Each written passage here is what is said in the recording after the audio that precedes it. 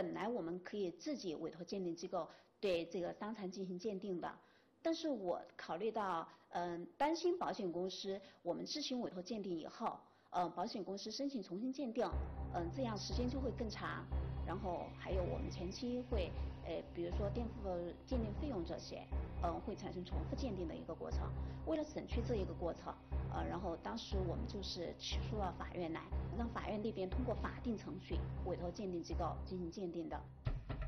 原告代理律师认为，简单重复的司法鉴定程序不仅是对有限的社会资源和司法资源的浪费，而且也会损害当事人的合法权益。因此，他提出。请法院通过法定程序委托鉴定机构对亮亮的伤残等级进行鉴定。他的伤情主要是集中在脑部，呃，比如说有右侧中枢性偏瘫、脑梗塞、缺血、缺缺血、缺氧性脑损伤。嗯，通过我们法院委托司法鉴定，鉴定他构成了八级伤残，这个伤残等级还是比较高的。二零二一年六月九号，经法院委托，重庆法医验伤所出具鉴定意见：一、亮亮的伤残等级属于八级；二、亮亮需要加强运动、语言及认知功能训练半年至一年，费用需三万至五万元。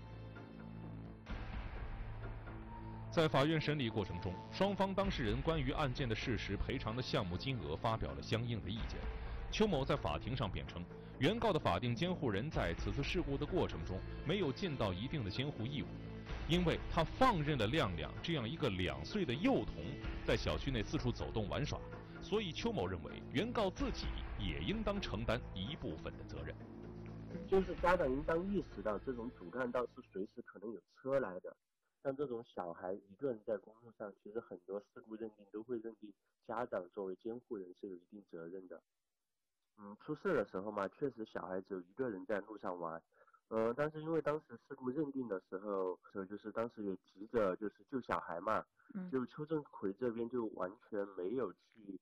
就太过于争执，就是当时的一个事故认定的问题。然后事故认定当时就以全责的形式下来之后嘛，然后邱正奎当时也想的第一时间想的是怎么去救小孩呀，怎么去垫资啊这些，就完全没有管那个事故认定的一个问题。对此情况，法官认为，事发后警方出警进行了勘查调查，意见认定邱某负此次事故的全部责任。被告邱某对此有异议，但并未向法庭举示相反证据，所以对其此番辩称意见不予采纳。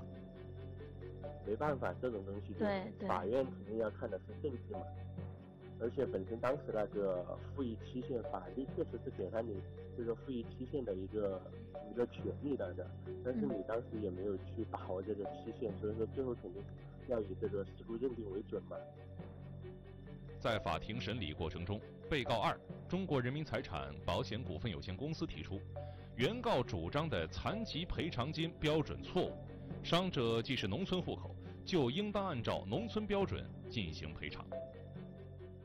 嗯，这个小孩他是随着父母在事故发生前已经在城镇居住了一年以上，那么这种情况，根据我们国家的法律规定以及司法实践，他是应当按照城镇标准来计算的。保险公司认为，亮亮的父母在本案中既是受害者又是得益者，因此应当扣除原告在水滴筹上所筹集到的款项。至此，本案的审理进入到了争议区。